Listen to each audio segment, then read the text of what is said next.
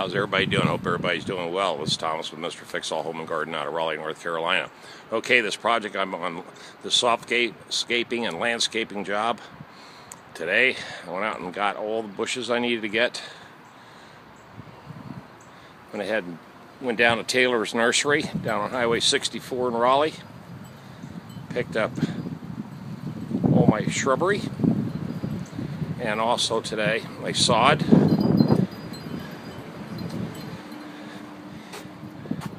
Got that little nice push there for the homeowner. Of course, more sod in the back of the truck. And that'll, I've got actually a little bit more sod than I need, but that's okay. And uh, see how I, of course I showed you this the last time.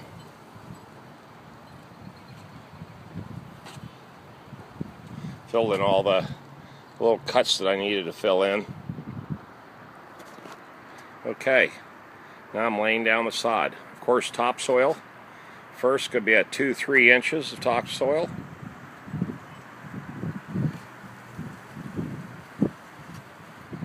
There we go. Homeowner already came out and said she was ecstatic, absolutely ecstatic with this. I made her a little kind of a corner pot area. I concreted in a little a collar and then put that base in there and got her that pot and that bush right there. There you go. Now grow about 12 feet tall for this corner. I got her a dogwood also. There you go. Beautiful fescue. All right. Starting to come around. All the other bushes. I just went ahead and got a variety. And of course I've got a big centerpiece for over there.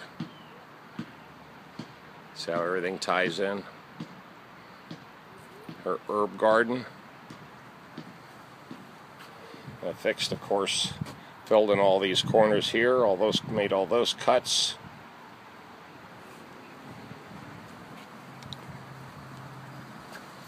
There you go. Of course, I've got to water it tonight too before I leave. I'm just trying to get down as much as I possibly can before I blow out of here. Okay. Well, there you go, guys. First is the soft scaping job. Phase one was remove everything off the lot. You know, dig up the bushes, dig up the trees, clear the lot, level the lot.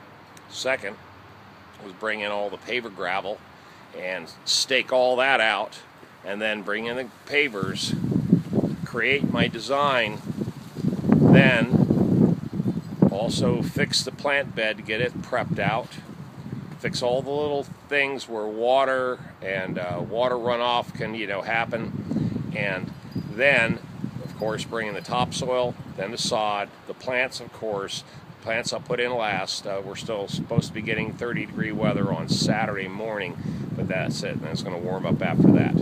Okay, you guys know what to do. Hit the subscribe button. Give me a thumbs up. Leave a comment. Always leave those comments. And I'll see you guys on another clip. This is Thomas with Mr. Fix All Home Garden out of Raleigh, North Carolina, signing out on another landscaping job.